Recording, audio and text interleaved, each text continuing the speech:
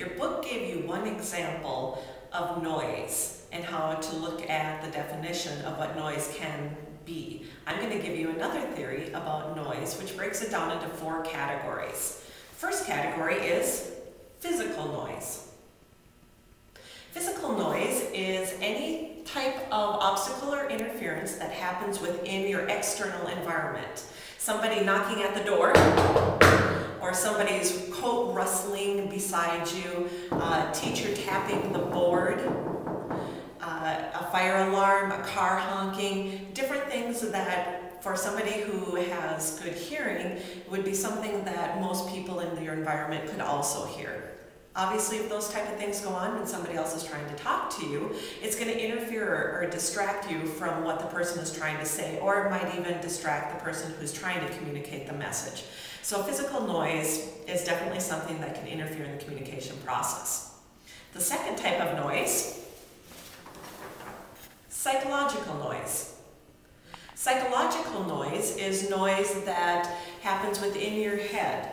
You might have uh, been caught by a teacher at some point when you were daydreaming and not really paying attention to the teacher and your mind just kind of wandered off and your teacher calls on you and you have that quick and you're trying to rewind and remember what the last thing was that you heard. That's an example of psychological noise. Psychological noise can be purposeful in the fact that you're trying to think about something else, or it can be like daydreaming and you just all of a sudden your mind goes and you don't really realize the specific point at which you started to veer away from the communication process at hand.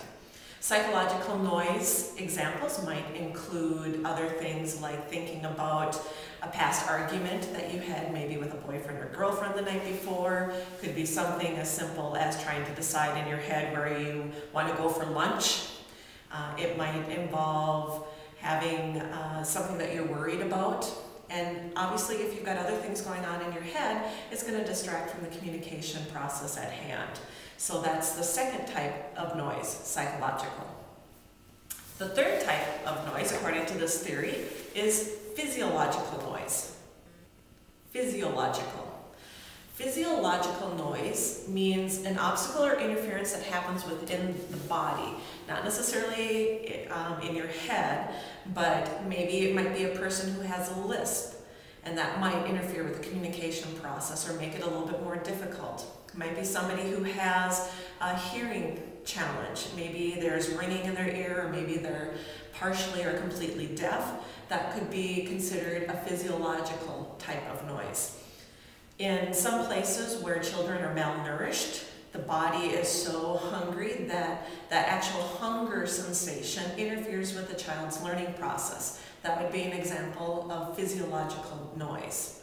Uh, maybe you have a headache, a migraine headache. Obviously, is going to distract you from being able to pay attention to what somebody is saying.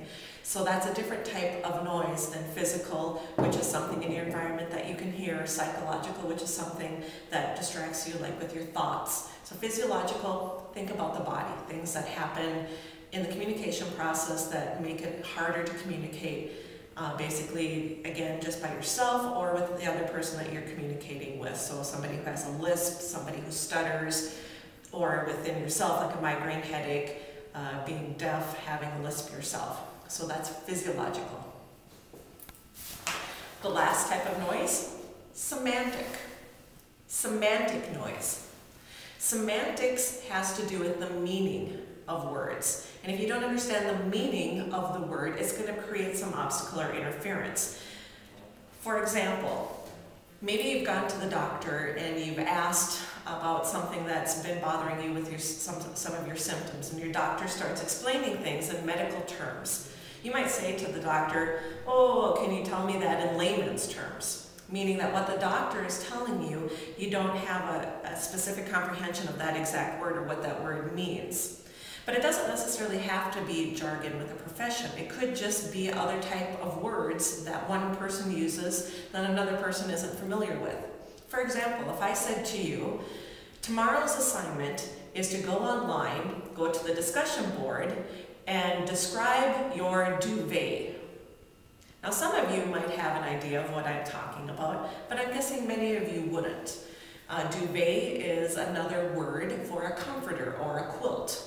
But probably most of you would have understood quilt or comforter, whereas duvet, maybe only a small percentage of you would know. So when I said that word duvet, you had some semantic noise.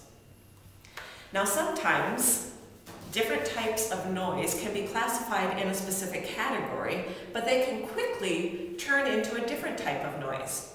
For example, let's say I'm hungry, but I'm not malnourished hungry. But let's just say I skipped dinner last night and I didn't have a chance to have breakfast today, and so now it's coming up on lunch hour and I'm starting to get hungry.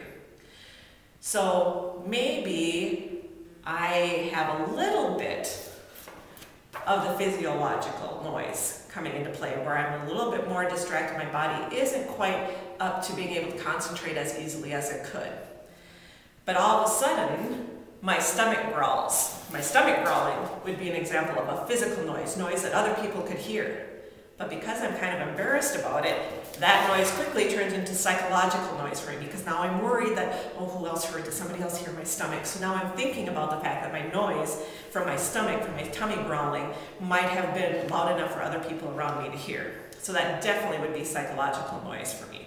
So in that example, you can see how it crossed different categories quite quickly. But this is just another way of looking at noise that's a little bit different than how your book talks about it. So again, the four categories in this theory, physical noise, psychological noise,